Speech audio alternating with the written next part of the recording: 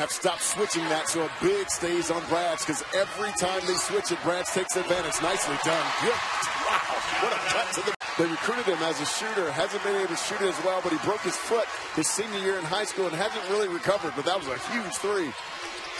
Sack. Big rebound by Wayne Langston. Here's Payne, left hand, yes. A three-point. Trying to start a new winning streak here. Carry them to New York and an NIT title. Cameron Payne launches and it's a three.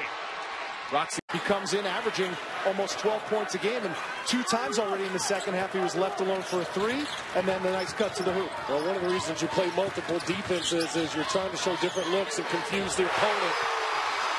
Look out for Jordan Baker to open the scoring for the Monarchs. He's their best perimeter defender, and when he can give them some offense, it's a plus vote to you. TJ Sapp saving the ball, and now he brings it across half court.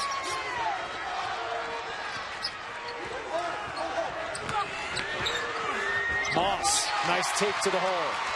Out on the perimeter, leaving Jonathan Fairell a big at 6'7", 265 pounds to guard Freeman. That's a mismatch. Good recognition there by Freeman. Nice pass. And Jonathan Fairell. Ross missed it. Sapped the rebound. Murray State needs a three to send it to overtime. Little smash down play. Here's Ross. Oh!